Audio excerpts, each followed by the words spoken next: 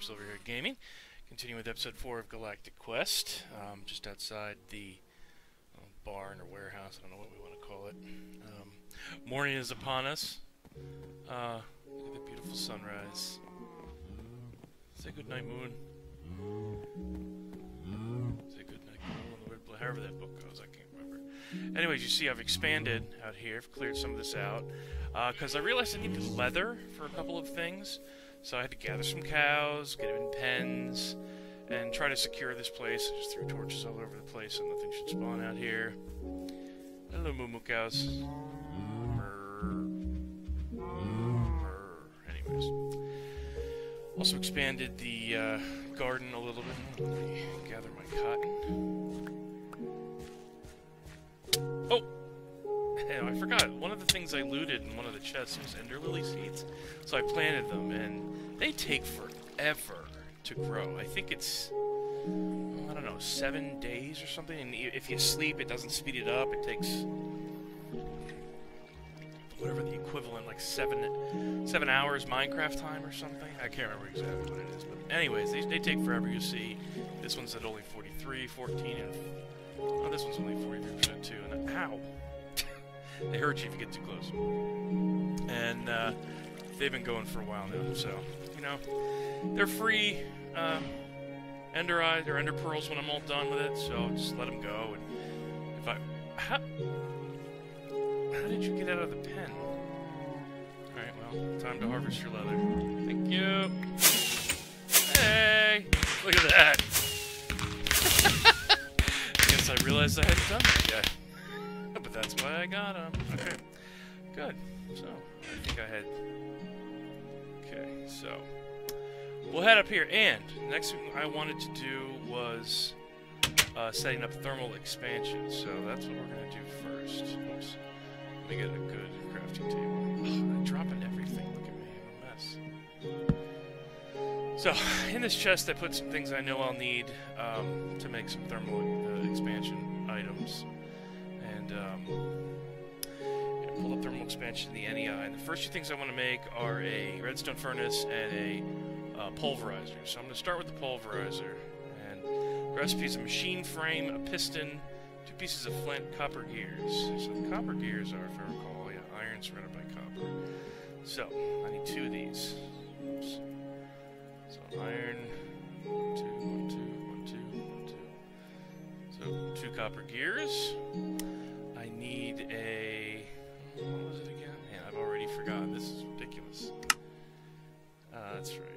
frame should just be glass. That's. I don't want a hardened one. Where's the regular one? Come on, cycle through. Cycle through. There we go. Yeah, iron tin gear. Okay. So, got. Oh wait, no. It's iron surrounded by tin for a tin gear. See, it's different in Buildcraft. It's something else uh, entirely different. And it's for iron, and I don't have the glasses downstairs. Course it is. Glass, glass. Where are you, glass? There you are. Thought I had everything up here I needed. I clearly did not. Oh, something mysterious is going on underneath us. So there's the. Here's the flint. Oh, I actually remember to bring the flint up. And for the last part, which is the. I think I'll need another one of these for the uh, for the furnace too. Yeah, redstone reception coil, redstone reception coil, which is just gold between um, redstone. Let's see, did I process any gold? Process other stuff? No, why would I, right? So I'm gonna go ahead and stick this nine to double it, and get going on this. I know I'm gonna need two of these. So the rest of this I don't need. Now, as far as power generation, originally I was going to do the magmatic dynamo, which uses lava to power it, but without a way of getting consistent lava, uh, without having to pipe it all the way from the bottom, um, by using some, there's wireless transfer devices uh, like this down here called a tesseract, which if I shift it tells you, it'll uh, transfer any, whether it's items, power, or fluid from point A to point B anywhere, anywhere you want. Um, The other way I could move it is with an uh, an ender tank, which is probably what I want to do in the end. Let's see, ender tank. Let's look. Where's that ender tank? Uh, anyways, what the ender tank does is you put one in in the nether, or in, in any uh, any other dimension, and one in the other dimension, and it'll transfer the fluid. There it is, right there, ender tank. But I need like yeah, I need blaze rods. So once I go to the nether, I'll be able to make this, and this will probably be the easiest way. I'll make a pump. It'll pump the lava from the nether because there's like an infinite amount of uh, lava in the nether, just everywhere. It never ends. So pump that uh, lava into here. It'll come out the other tank on this side, and then I can pipe that lava into my magmatic dynamos. But early on power, I'm going to go ahead and make a steam dynamo. Um, go back to that. Dynamo. Oops, I cannot spell. Dynamo. So you see there's a couple. Pneumatic dynamo, steam dynamo. And it's just copper. Oh, and this is original transmission coil, which should be silver in the middle, which I didn't process either. So let me pull the gold out of here. Some silver, because I know I found some silver earlier. Lead, silver. There we go. Process some silver while I'm at it. And I'll pick these up. Come on, cool. One, two, yeah. I can change them to gold. Maybe I should rearrange this thing. I don't know. I decided. Okay, so I need two transmission coils. So, boom, boom. One for each machine. So there's that. Now, a piston. I need... Oh man, I all my cobblestone downstairs. I'll need cobblestone and wood because I do need to make one piston. Um, so I'll grab some wood. I don't need compressed cobble, just regular cobble. There we go. Now, if I recall correctly, it's this with a on top one piece of whoops, one piece of iron, one piece of redstone should make a piston. Yay! Alright, so we should be able to finish our pulverizer. Piston on top, flint on either side, machine frame, redstone reception coil, and gears on either side. And boom! We have a basic pulverizer, which is exactly what I wanted. We'll put it, uh, I don't know, right here for now. Kind of a cool looking machine. And what's nice about thermal expansion machines is that they're really easy to configure. Um, you look at the configuration, there's color coded, and what this diagram is here represents each side of the machine the front, the bottom, the top, the left, the right, and the back. And they're color coded. So if you want something to be automatically pumped into this thing from the top of the machine, it'll automatically go in the blue position. Uh, when it's done processing, it can be pumped out of any of these three locations, but you can click on them to change the color, and you can block uh, things up. So right now what I'm going to do is I'm going to turn it all off. I'm going to show you how easy it is to set up your own configuration. So right now you can't automate anything in and out of it, but that's fine because I'm not using it yet. Um, the other thing that's new to thermal expansion now is augmentations. So it comes with some default uh, uh, default augmentations, um, which means it allows automatic output, which we talked about, and redstone control. That would be if I wanted to turn it on or off with a redstone signal. I probably won't need that because anytime I'm going to do something, I'm going to throw it in here and let it process away. Uh, reconfigurable sides, which is what I just showed you. So this one's limited to only three augmentations, but if you make those higher tier ones um, in thermal expansion that have like there's a hardened, um, let's see, let's look at it. Hardened and resonant, I think, are the higher ones. Yeah, when we looked at the recipe originally, if you remember, it showed different kinds of machine frames. So if you make the higher tier machine frames, you basically upgrade the machine as you go. So you start with one, make the next, and when you get it all the way up to a resonant uh, version, it will be able to have more augmentations, which allow it to have more capacity and run a lot faster. But for base game now, I think the pulverizer's default speed compared to other processes is already fairly quick. So I'm not going to fuss about that too much. Let's see. Let me pump my silver out. Da, da, da, I feel like there should be a molten metal sound. Like a blip, blip, almost like the lava sound effect when this pours out. Alas, there's not. So, one, two blocks. Yay. Silver blocks. I'll go ahead and make these into ingots. And do this. Now, the redstone furnace also needed the same machine frame. So that was a tin gear. Uh, surrounded by iron and glass for the base one. And if you remember, if I want to make a, the upgraded version, where's the, yeah. So if I wanted to make the next tier up, which would be hardened, I'd need Invar and Electrum gear. And it's not necessarily that difficult. I could do it right now. I'm just going to stick with the base game uh, stuff. Invar is a blend of uh, ferrous ore and iron ore. Um, let's see, let's show. Uh, make an Invar blend is where's there we go. Two iron dust and pulverized or nickel dust. And ferrous ore occurs naturally. Uh, you can find it. I actually have some already. And it's nice because you, you put in three dusts and you get three ingots. So it's actually a really good uh, transfer rate. Um, you don't lose out on one. You know, there's always the fear that, oh, if I make this blend of materials, that I'll only get one ingot worth out of it. But no, it makes it's a three to three ratio, so it works out pretty well um, to make hardened units. And Electrum is only, I think that's gold and silver, or uh, yeah, gold and silver together. Let's, oops, go back one. Uh, what's the blend? Electrum blend, which is yep, uh, silver and gold dust, and that's also a two to two ratio. So that works out well. You don't you don't lose out on any materials. Um, so that's good. Uh, anyways, so where was I? I needed to make the redstone furnace. Ooh, bricks. Shoot. Did I not? I think I have some leftover clay downstairs, actually. So I'll need two more copper gears, um, which I don't think I made. Um, no, I'll keep the frame down here. Uh, copper gears were iron, or was it tin? We'll find down here in a second, won't we? Nope. It's iron. I already have this. These will go on either side. And I already have the redstone I need. So what I need now was, those are bricks. So I need to grab some clay. So I'll need four, I need eight clay. And good, I still have some left over. You keep the rest. Oh wait, I need to smelt that in a normal furnace. Hey, got some steak. Yay. I'll put that in my foodstuffs. There's no room in my foodstuffs. Oh. So let's...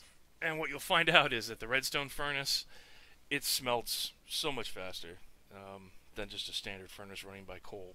And what it does is it just makes everything a little bit more efficient, even by using steam power, which will require me to use coal and water.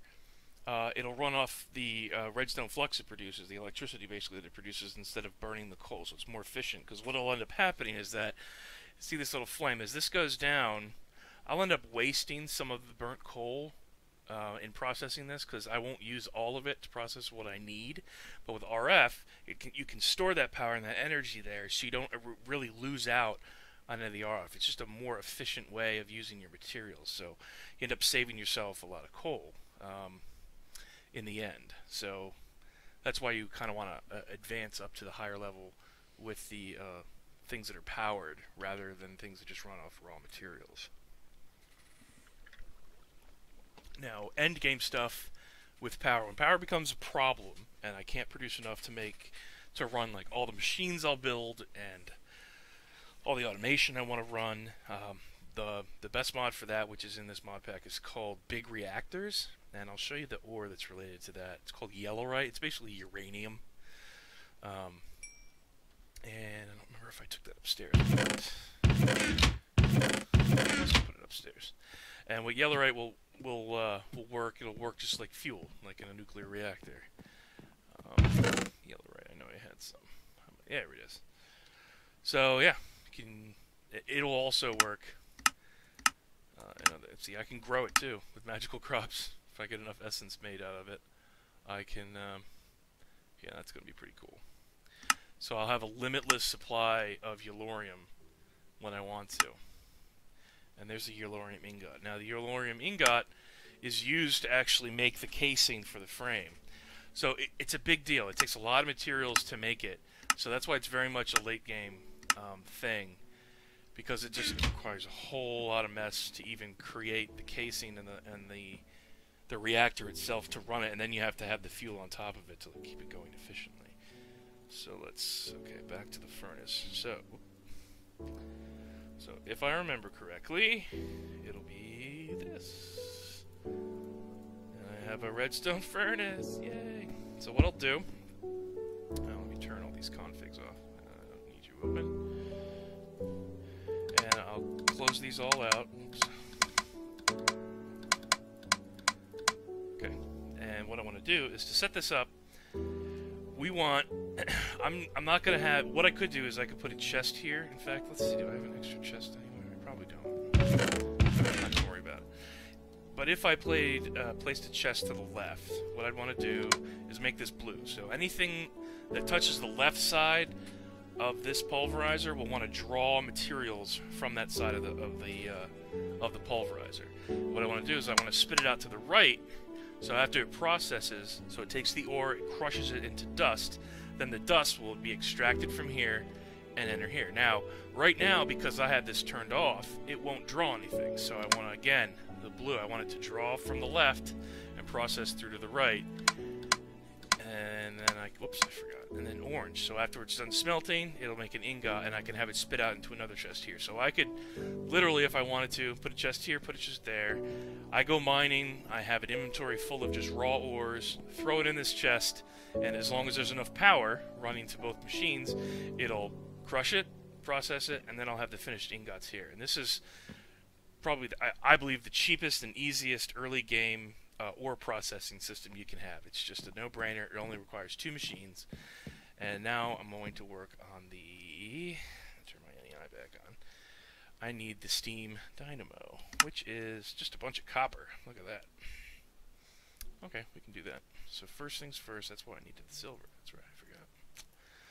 First, I'm going to need a redstone transmission coil. I need two gears. I need to process more copper when I'm done with this. Okay, so it was this, this, this. Uh, shoot. See, I need to look again because I forgot already. Oh, I had it all wrong. gears going top, not the bottom.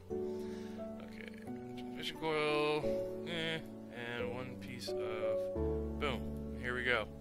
So, steam dynamo what I'll do is I'll place this right here. Open this interface. What it needs is, what's going to happen is I need to fill this with water, and I can put coal or charcoal in here. It'll burn it. It'll produce steam, which will uh, produce uh, what's called redstone flux, which is the energy that's uh, produced and used by thermal expansion um, items. Now, the other thing I'm going to need is, because it's not connected to it, so what I need to do is make leadstone uh, flux crystals, and that's basically, it's wire. It's what uh, allows um, the power to be transferred from one device to another. It just works like cabling. Um, and the cheapest one, the low level, is leadstone uh, flux, flux ducts, which is just lead, uh, redstone, and uh, glass. So I have some lead. I didn't process the lead either. Man, I'm forgetting everything. So I'm going to throw some lead in here. now that, uh, uh, oh, I did not do that right. I hear a zombie somewhere. That's silver. One boy. Nine. So I'll throw my nine in here so I can double it. And I already have the redstone. I already have glass. I'll leave the rest of the glass I have in here. Oh, and this right here, these Certus quartz, this is going to be another mid to late game operation that I'll make um, for material storage rather than having to use like iron chests or uh, Jabba barrels. Um, it's based on the idea that you can break materials down into into code, sort of into individual bits, and basically it's storing all of your items in a computer. Um, it's probably a little cheaty, but once again, just like with magical crops, it takes a lot of effort and a lot of materials to even get the system set up properly. So I feel like it's really not cheating. It's just some late game thing that you've kind of earned the right to produce it and use this system because you've done the the you know all the right stuff early on, which will allow you to do the easy stuff later. Besides, in the end, I want to make it simple to be able to just explore the galaxy um, without having to worry about where all my stuff is and having to process it. I just want to be able to, let's see, yep, 18. Okay. I just want to be able to explore the galaxy and build without having to worry about coming back to Earth to uh, mine stuff. Um, I just want to be able to this, and what happens with applied energistics is it, it can automate everything. It can automate the magical crop system, where if I tell it, hey, I need some iron, it'll know to take iron essence from the iron, you know, um, plants that I've made, and it will create iron ore for me and then give it to me. And there's even a system that does it wirelessly through like an iPod looking thing or iPad looking objects, so you can do it from anywhere. So let's see. All right, gives me six, which is good. So the power comes out the top. Boom, boom. There we go. So once I'm able to turn this on, any of the power that comes out will be piped into these machines and be able to run them. So, ooh, I need to eat. Uh, bleh, excuse me. I burped. And I have one pipe left over. Uh, actually, one of the things I could do, I think I could turn this. There we go. And what that'll do, that'll save me from using two pipes. So that's even more efficient than what I had before. Okay, so first of all, let's just make a little bit of power. I, am going to work on making a pump to pump uh, water. Let's see, right now I'll just use my, my well. Now, I can't remember if I have to input it from the GUI or whether I can just dump it in there. Okay, it just accepts it. Okay, so there's the water. Oh. Now, I guess I could use, or does it break down, huh, does it break down the coal? Let's see, let me go grab some uh, coal from downstairs. Oh wait, no, I brought it upstairs already. Jeez Louise. So, let's see if this works. It does! That's where the steam goes. So, the coal heats up the water, the water turns to steam, and then when I apply a redstone signal to this, it'll start generating some RF. So I'm going, you see how it's all lit up now? It's pretty cool. So I need to make a simple lever. Boop. Oh wait, it's a stick, isn't it? Dur. Stick. Cobble. Lever.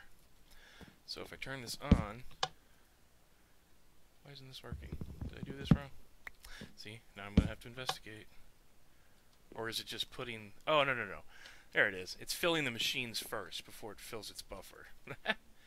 That's what it is. So I don't need the switch. Alright, I wasn't sure I did because I didn't have that augment in there. Ah, here we go. So this is the buffer. It's like an internal battery for the machine. And you'll see as the, the water's going down as it's producing more steam. So it's going to eventually run out of water. So ideally, if I want to run infinite, if I could have like a tree or a charcoal farm or, or something along those lines, that constantly automatically pumps ch uh, charcoal into here, and then another on the other side it just automatically pumps water into here. I can have an infinite supply of steam, and it only holds 40,000 RF, which for my needs right now are, are great. Um, I don't need any more for this simple process, um, so it's going to work just fine in the meantime. Yeah, right now it's only producing maximum power is 80 RF per tick, and what a tick is is uh, everything that um, runs on Minecraft and its base code runs off a tick, and I, a tick basically is a second. So every second clicks over, or every few seconds clicks over, it generates 8 RF, and it's just the measure that this machine uses.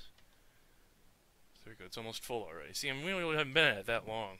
Um, I'm already out of water, or just about out of water. 49, 45 millibuckets, 41 and the buffer's full. So right now it's producing steam and it's wasting everything. So you know what I'm going to do? Uh, redstone signal high, what I'm going to do is, so it should turn it off. So enabled signal required high. Oh, lost all the water anyway. So I still have some steam left over, which will generate some power as it goes by. Um, but for right now, these are full up. So I'm actually in pretty good shape. And what I'm going to do is I'm going to grab one raw ore. I'm going to show you how this works. Um, let's go ahead and do, let's do the rest of this copper. Why not? Since all these base machines seems to run off a lot of copper. So what I'm going to do is throw the copper in there. You see this building up. Let's see if we can see it. Uh, see, it transfers so fast. There we go. And it turned it into two pulverized copper, which is then smelted into copper ingots. So you can see how fast this is. I don't have to wait for the smeltery to melt it and then double the output, and I don't have to worry about pouring it into both you know the basin and the cast to make them individual ingots or nuggets or whatever. This just automatically turns ore to ingots, and it doubles the output. Oh, and this is the other thing I forgot about pulverizers. There's also a chance um, that you get another uh, item out of it, another uh, dust out of it. With copper, it's gold. With iron, it's ferrous. Uh, I can't remember what the other ones are, but it's actually a small chance. The fact that I got four dust actually surprises me.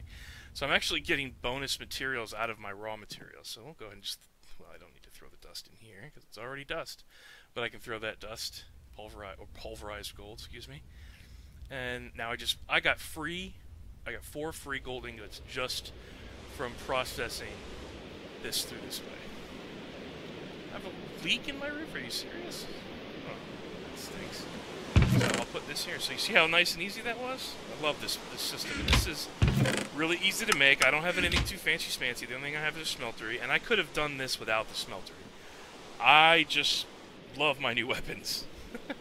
You see, I've been mining earlier, and my hammer is almost completely healed, and my pickaxe pickaxe has complete durability back. And I just because I haven't been using them.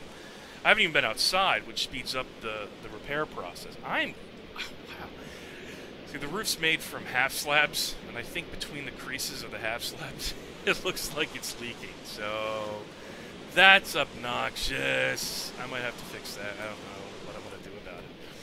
But so here's early game machines. We have made a lovely steam dynamo, which generates power for our two simple machines.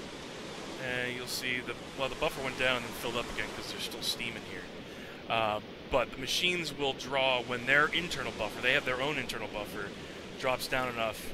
Whatever buffer's in here will automatically transfer to the machines. If this goes any lower, then it'll automatically generate more steam. So it's just a much more efficient way to do it. I can also, this redstone furnace doesn't just do metals. It acts like any furnace. I can cook meat in there. I can uh, cook whatever I would normally cook in a normal furnace inside of this. So this is not a unitasker. It becomes uh, pretty awesome. Um, so there's our first look at thermal expansion. I'm going to build some more machines. Of course, I'm going to do more mining. Before we leave, I'll go ahead and show you um, all the mining I did down below. Um, at level 12, I started to do some pretty simple strip mining with the hammer. And look at that, it's already fully healed. I love it. I love it.